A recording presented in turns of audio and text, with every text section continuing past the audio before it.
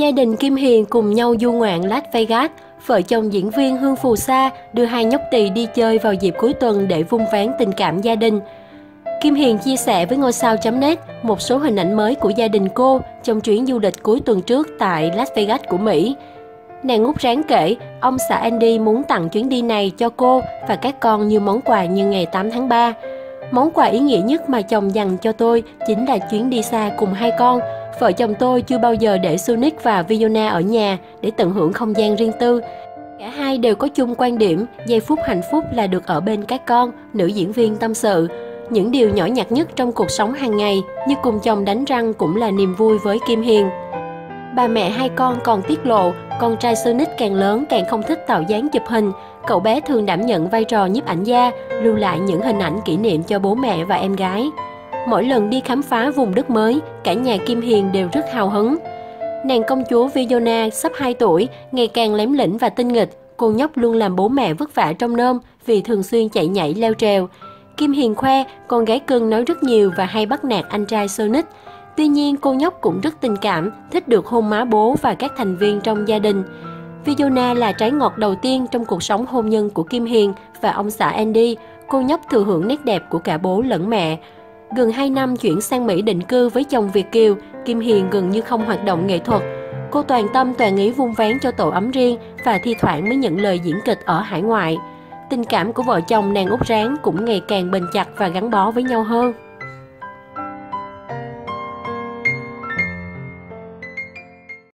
Hồng Vân rơi lệ khi nghe tâm sự của chồng Lê Tuấn Anh. Cụ diễn viên nói, thiếu sót của vợ là lo cho mọi người nhưng ít khi nghĩ cho bản thân. Tối 7 tháng 3, tập 10 hát cùng mẹ yêu với chủ đề quà tặng mẹ mang đến cho khán giả nhiều cảm xúc khi năm người con trai trong chương trình gửi tặng mẹ những món quà bất ngờ, đồng đầy yêu thương.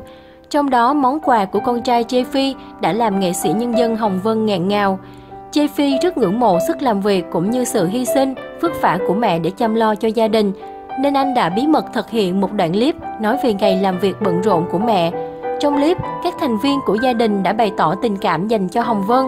Đặc biệt, ông xã của chị, cụ tài tử Lê Tuấn Anh đã dành cho vợ những chia sẻ chân thành.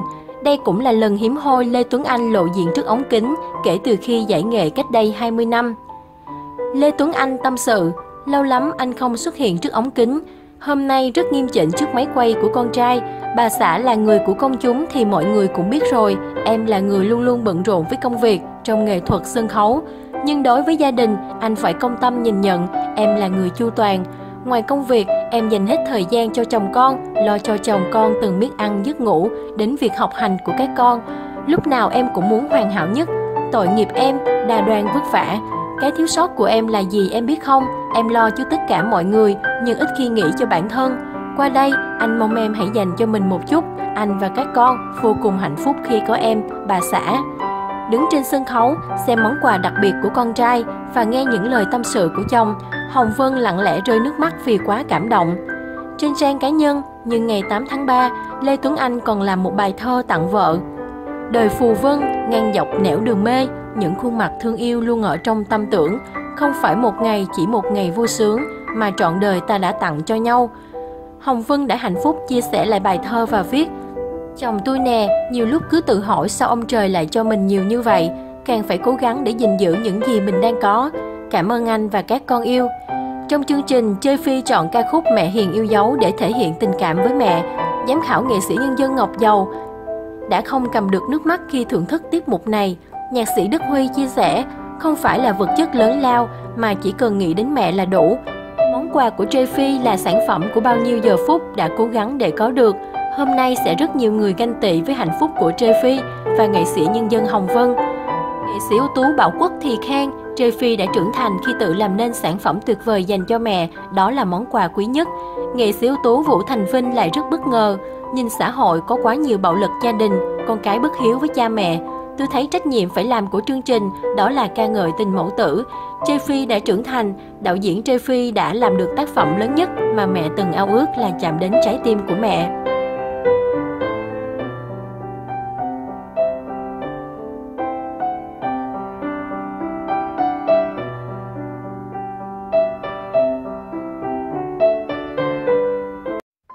Người chồng Ấn Độ bí mật trong đám hỏi diễn viên Nguyệt Ánh giàu có cỡ nào. Kín đáo trong đời sống riêng tư, đám cưới của diễn viên phim Cổng Mặt Trời chỉ được biết đến khi bạn bè đồng nghiệp chia sẻ ảnh rước dâu của cô lên trang cá nhân. Mới đây, diễn viên Nguyệt Ánh bất ngờ tổ chức đám hỏi khiến nhiều người không khỏi bất ngờ. Được biết, thông tin đám hỏi được giữ đến phút chót vì muốn hai bên gia đình có không gian riêng tư và không ồn ào. Đến tham dự ngày vui của mỹ nhân Cổng Mặt Trời, có nhiều tên tuổi quen thuộc, từng xuất hiện trên màn ảnh nhỏ với cô như Thúy Diễm, Lương Thế Thành, hòa Hiệp, Hùng Thuận, Bá Thắng, Tường Vi, Lê Bê La, Quỳnh Lam. Tất cả đều vui tươi, rạng rỡ, dù phải thức dậy từ rất sớm để chúc phúc cho người bạn thân.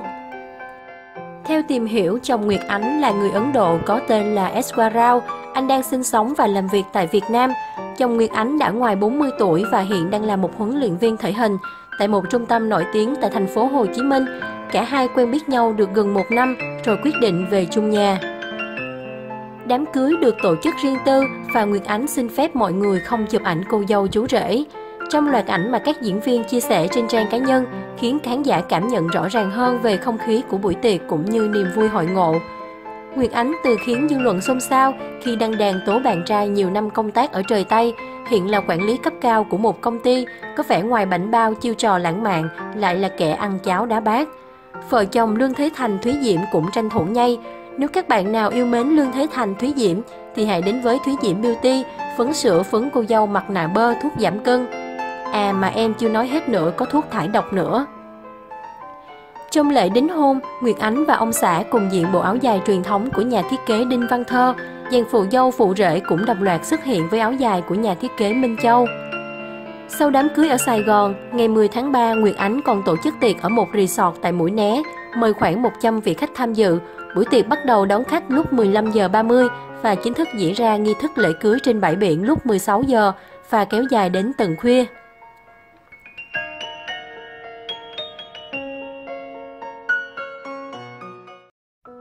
Tâm thư xúc động mà bà xã viết dành riêng cho ca sĩ Đan Trường.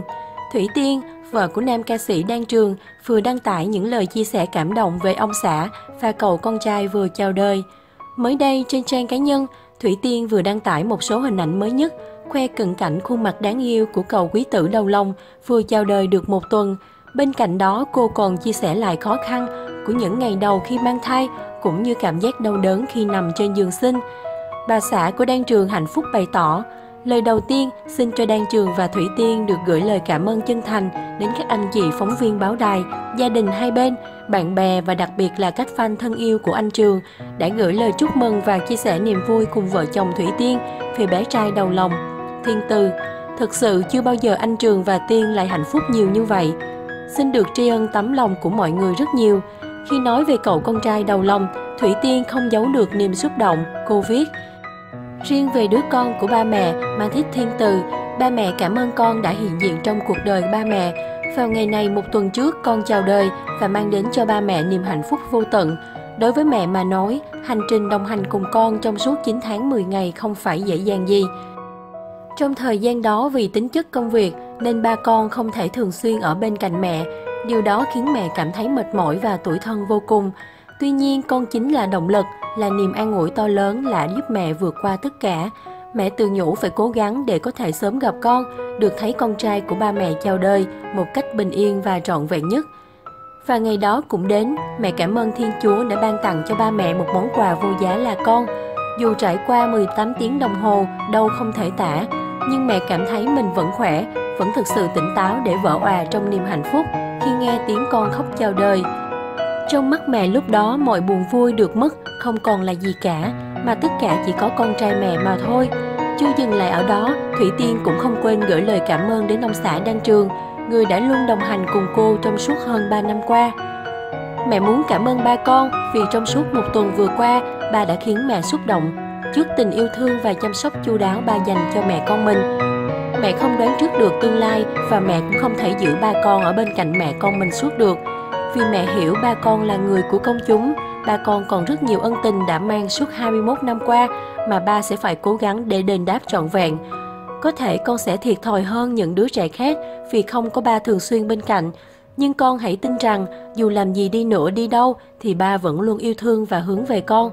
và quan trọng nhất là con sẽ luôn có mẹ bên cạnh để yêu thương và che chở cho con. Con hãy ngoan ngoãn mau ăn chống lớn khỏe mạnh nhé con. Ba mẹ yêu con hơn tất cả những gì ba mẹ có. Yêu con, con yêu của mẹ Thiên Từ, vợ anh Bo chia sẻ. Vào sáng sớm ngày 26 tháng 2, Thủy Tiên đã vừa cạn thành công. Cô hạ sinh con trai bằng phương pháp sinh thường và cậu bé nặng 3,5 kg. Đan Trường đã dành nhiều thời gian túc trực bên vợ trong suốt thời gian sinh nở. Anh cũng tạm dừng công việc để có nhiều thời gian chăm sóc gia đình mình hơn. Đây có lẽ là niềm hạnh phúc lớn lao của người đàn ông ở tuổi 40.